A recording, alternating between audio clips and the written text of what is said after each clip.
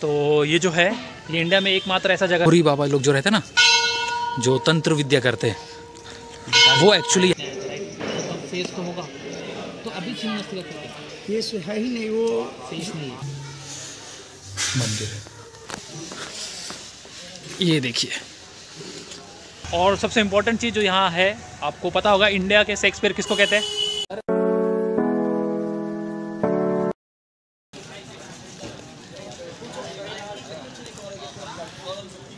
ये जो रास्ता आप देख रहे हैं, ये जाता है सहार घाट। और इस तरफ़ का जो रास्ता मैं आपको दिखाता हूँ, देखिए ये ये आता है बेनीपट्टी। तो आप यहाँ से आ सकते हैं, बिंदास। तो गाइज़ जैसा कि आपने अभी देखा तो हम लोग आए हैं उच्चैठ भगवती स्थान। तो ये जो है, ये इंडिया में एकमात्र ऐसा जगह है, जहाँ शक्तिपीठ, सिद्धपीठ और ज्ञानपीठ, ये पूरे इंडिया में एक ही जगह है। तो चलो अंदर अंदर जा रहे हैं, अब आपको दिखाते हैं और कुछ जानकारी शेयर करेंगे। चलते चलते अंदर की तरफ़। और सबसे इम्पोर्टेंट चीज़ जो यहाँ है आपको पता होगा इंडिया के शेक्सपियर किसको कहते हैं? कालिदास। यस कालिदास जी जो महामूर्ख थे और वो हो गए इंडिया के शेक्सपियर ये दिखा दीजिए। हाँ तो देखिए अभी जस्ट यहीं पे हूँ मैं आपको दिखा ये देखिए तो माना जाता है कि यही मंदिर पे उनको ज्ञान प्राप्त हुआ था। आगे जानकारी हम आपको शेयर करेंगे। शाम को आए आप देख सकते हो तो ज़्यादा क्लियर तो दिखेगा नहीं वैसे। बट ट्राई करते हैं हम आपको दिखाने का। दोनों साइड से है।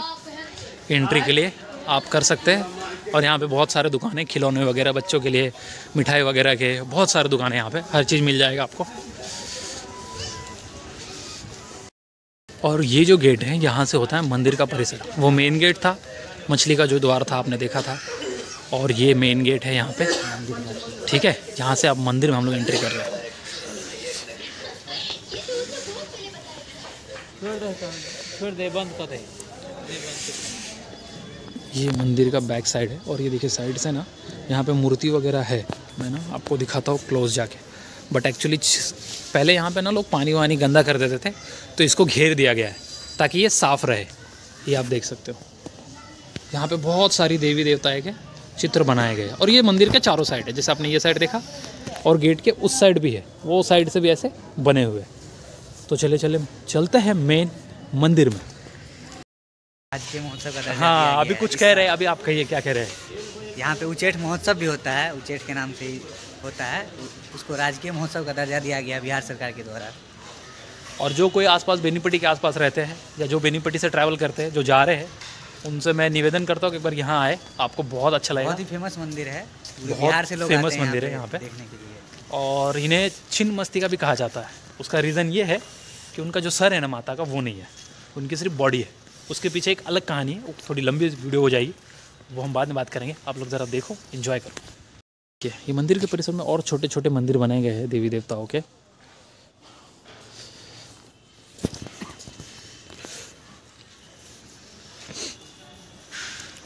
छोटे छोटे मंदिर है, आप लोग देख सकते हैं। बहुत सारे मंदिर है छोटे छोटे यहाँ पे।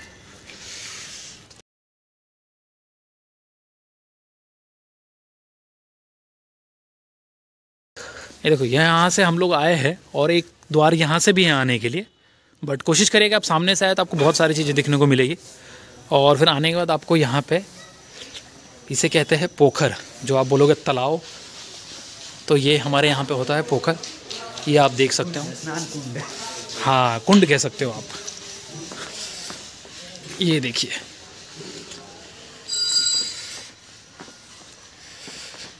यहाँ पे आके आप अपना पैर वगैरह धो ले तभी मंदिर में प्रवेश करें। और अभी बहुत ठंडी है तो हम लोग मंदिर में प्रवेश नहीं करेंगे। अरे नहीं नहीं करेंगे यार मज़ाक कर रहे हैं। चलिए। बिल्कुल मंदिर आए तो प्रवेश तो बनता है। यस अब यहाँ से फिर हम लोग चढ़ के ऊपर से उधर जाएँगे मेन मंदिर में। चलिए दिखाते हैं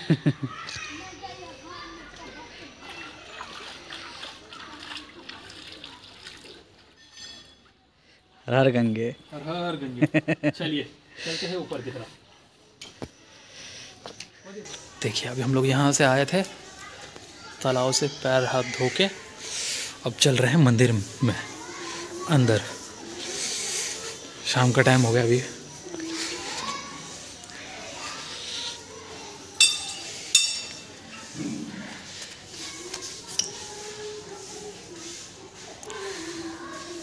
आइए। ये है मेन मंदिर है।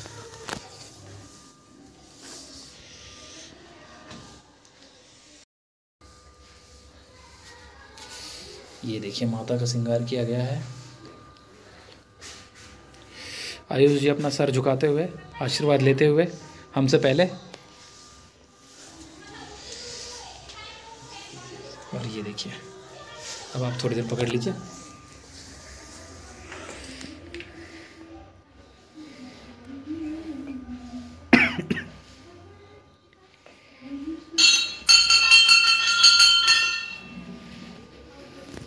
ये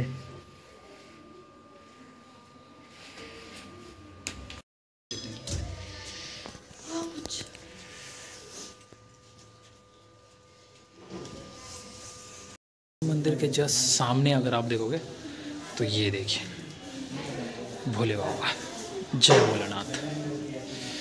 भोले बाबा का मंदिर है, पर हर महादेव, ये देखिए। जय भोले बाबा अब भोले बाबा का मंदिर में आए और हम घंटी ना बजाए। पॉसिबल है? कभी नहीं। ये आप देख सकते हो, मुख्य द्वार देख लीजिए एक बार। कैसे है? मुख्य। मुख्य द्वार प्रवेश करने के लिए। देखो, बलि बलि प्रदा जो है, वो यहाँ भी चलता है। ये देखिए बलि प्रदा ये यहाँ पे दिया जाता है।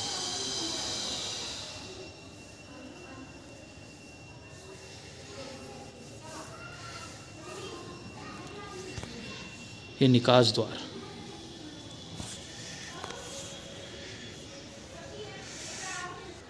और ये देखिए आप।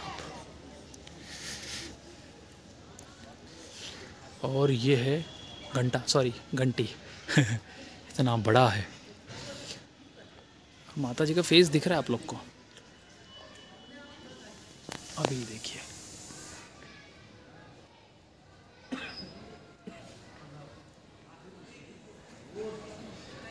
जैसे कि मैंने बताया था देखिए चारों तरफ़ है दीवार के। देखिए ये पंडित जी है। ठंडी लग रही है इसलिए जैकेट डाले इनसे थोड़ा बात करते हैं जानते हैं। हाँ हम इनसे जानना चाह रहे हैं आध्यात्मिक और ऐतिहासिक। चलिए पूछते हैं। तो पंडित जी आपका नाम क्या और शुभ नाम? नीरज कुमार गिरी। जी आप यहाँ कब से हैं? यहाँ हम दस साल से दस साल से ये यहाँ पे है। तो चलिए इनसे जानते हैं कुछ जानकारी यहाँ की ऐतिहासिक क्या है और धार्मिक महत्व क्या है? यहाँ पे कालिदास को प्रदान मिला था। यहीं पे पाठशाला है जहाँ वो झाड़ू पोछा का काम किया करते थे। वो बहुत मूर्ख थे। तो यहाँ पाठशाला से रोज प्रतिदिन माँ को साँझ आरती पूजा आराधना के लिए सब वहाँ से गुरु जी और शिष्य आते थे यहाँ हाजिरी देने के लिए दरबार में माता के। तो कुछ दिन बारिश का समय था। यहाँ पे खूब तेज़ बारिश हो रही थी। पास में नदी है। नदी का नाम कुम्हानी नदी है। नदी है। तो उसी उसमें बारिश के कारण पानी बहुत ज़्यादा मतलब भर गया। तो उसी इन शॉर्ट में बताता हूँ थोड़ा छोटे में मैं बताना चाहता हूँ कि जो नदी था ना तो बाढ़ आ गया था तो पानी लोग उस साइड पूजा करने जाते थे। जी। तो स्कूल से ना जो मतलब जो विद्यालय था वहाँ से किसी को डेली जाना पड़ता था पूजा करने के लिए। जी। तो वहाँ पे होता क्या था कि कोई ना कोई जाएगा अब बाढ़ आ गया तो कौन जाएगा? तो लोगों ने क्या सोचा कि अब ये जो झाड़ू पोछा करता है इसी को भेज देते भाई नहीं जाएगा वो बोले कि हम तो सब बोले कि हम लोग नहीं जा सकते हैं हाँ। आज माता के दरबार में। आराधना पूजा मतलब पूजा बंद की जाएगी। कोई डर हाँ। तैयार नहीं हुआ। तैयार नहीं हुआ। जी। तो उन्होंने बोला कि हम आज हम जाएँगे माँ के दरबार में पूजा करने के लिए। तो सब बोले कि ये जाएगा अगर डूब भी जाएगा तो कोई खोज खबर लेने वाले कोई नहीं लेगा नहीं राइट जी। तो इसी के कारण वो आए यहाँ। यहाँ पूजा आराधना देने के लिए आए तो बारिश हो रही थी। तो मंदिर में अगर कहीं पे अगर निशानी हो देते पूजा आराधना कर लिए। तो वो सोचे कुछ हम ऐसा निशानी दे दें जिससे गुरु जी को और शिष्य को लगे कि हम आगे आए थे। जी यहाँ आए राइट जी। तो वो सोचे कि इधर उधर कहीं देंगे तो बारिश से धुल जाएगी तो वो डायरेक्ट माँ के मुँह में वो काला लगाने चले गए। जैसे ही लगाने लगे तो माता रानी साक्षात प्रकट होकर उनका हाथ पकड़ लिए। पकड़ लिया। कि मैं तुम्हारे पूजा आराधना से प्रसन्न हुआ। प्रसन्न हुए। बोलो तुम क्या मानते हो? तो उन्होंने बोला कि हमें विद्या दीजिए। जो हम उस समय उनके जो बोलते हैं ना जीव पे सरस्वती माता का वास हो गया। वास हो गया था। तो माता बोले कि जाओ पाठशाला में जितनी भी पुस्तक है सारे तुम उल्टाना कंठस्थ हो जाएँगे। एक एक चैप्टर तुम जैसा आपने रोबोट पिक्चर में देखा होगा जी। बिल्कुल वैसे। हाँ, तो उन्होंने सारा रात भर में पुस्तकें उल्टा दिए। सुबह जब वो झाड़ू पोछा का काम कर रहे थे तभी बच्चे को गुरुजी पढ़ा रहे थे बाहर में बैठ के। तो उसी में कुछ लाइन गलत उन्होंने पढ़ दिया बच्चे। तो कालिदास बोलते हैं अशुद्धम वक्तम फिर वो गुरु जी बोले कि इसको कहाँ से उतना ज्ञान हो गया? उसका मीनिंग भी जरा बता दीजिए आपने जो बोला ना जी गलत। जी जी। तो उन्होंने बोला तो गुरु जी उतना ध्यान नहीं दिए कि इसको कहाँ से पता होगा? इसका ज्ञान इसके पास है ही नहीं। हाँ। तो फिर वो पढ़े बच्चे लोग पढ़ने लगे फिर गलत हुआ। तो गुरु जी पूछे कि ए कलिया तुम तुमको कैसे पता चला कि ये गलत पढ़ रहा है? बच्चा। तो उन्होंने बोला कि गुरु जी हम गए थे ऐसे ऐसे रात में मतलब आराधना देने के लिए माँ को पूजा करने के लिए। तो माता ने वरदान दिए उनको। तो वही हम रात भर में पुस्तकें उल्टाए सारे कंठस्थ हो गए। तो वही हमको मतलब लगा कि आप गलत पढ़ रहे हैं। हाँ। तो इसलिए हम बोले। तो उनका उज्जैन राजा भोज की लड़की विद्युतमा हाँ। उन्हीं के दरबार में एक मतलब शादी का उनका बात चला उनके पिताजी बोले राजा भोज इस दुनिया में सबसे बड़ा जो मूर्ख है उसको बुला के लाओ उससे हम अपनी बेटी की शादी करवाएँगे। उनके सेनापति सब दर बदर जंगलों में भटकने लगे। तो भटकते भटकते एक जगह आके रुके जहाँ जिसी पेड़ पे वो बैठे थे उसी पेड़ को काट रहे थे। तो उनके सेनापति सब बोले कि इनसे बड़ा मूर्ख कौन होगा कि जिसी पे डाल पे बैठे उसी को काट रहे हैं? ये आपने पढ़ा भी होगा शायद या देखा भी होगा। तो वो जो कहानी आपने जो बचपन में पढ़ी होगी या जो सुनी होगी वो यहीं से रिलेटेड ये जगह कहानी में एक्चुअल में हुई हुई घटना है जो कि यहाँ हुई है। तो उनको वहाँ से पकड़ के ले गए वहाँ दरबार में मतलब पेश किए गए तो वहीं पे उनका शादी हुआ। शादी होने के पश्चात कुछ दिन के बाद विदितमा को कालिदास अच्छे नहीं लगे। मूर्ख थे। जी। तो वहाँ से उनको भगाने के बाद वो यहाँ आए थे पाठशाला में। और इनका कोई यही यहाँ का कहानी है। बिल्कुल बिल्कुल ये कहानी मेरा ना है। जो मैंने आपको थोड़ी देर पहले बताया होगा ना तो आपको एक सवाल आया होगा तो मेरा एक सवाल था उनके छिन्न मस्ती करते हो कहा क्योंकि यहाँ पे मेरा एक सवाल ये बनता है कि उनके मुँह पे काली पोतने आए थे राइट तो फेस तो होगा। तो अभी छिन्न मस्ती करते हो? फेस है ही नहीं वो फेस नहीं है। युद्ध के दौरान माता रानी का फेस कटा हुआ था, लेकिन उनका कहानी कुछ ऐसा था। याद नहीं मुझे। तो अच्छा कोई बात नहीं सिद्धपीठ है उसमें से जो माता के, विष्णु जी ने जो टुकड़ी किया था, उसमें जो सबसे इंपॉर्टेंट पार्ट रहता है ना, इंसान के बॉडी में हार्ट तो कहते कि जो हार्ट था ना, वो यहाँ पे गिरा हुआ था। तो चलिए, वीडियो एंजॉय कीजिए, आगे और दिखाते हैं आपको। ये जो पेड़ आप देख रहे हो, ये भी बहुत पुराना है। पहले यहाँ पे ना आपको पता है कि ये कहते थे क्या कहते थे उसको? अघोरी। अघोरी बाबा लोग जो रहते ना जो तंत्र विद्या करते हैं वो एक्चुअली यहाँ पे बहुत होता था पहले। अभी थोड़ा कम हो गया है अभी भी कहीं कहीं होता है बट पहले यहाँ पे वो इसी के लिए फ़ेमस था। और यहाँ पे आप देख सकते हैं यहाँ पे देखिए मिठाई की दुकान सारे लाइन से सारा इस तरफ़ बना हुआ है। सारी चीज़ आपको मिल जाएगी यहाँ पे।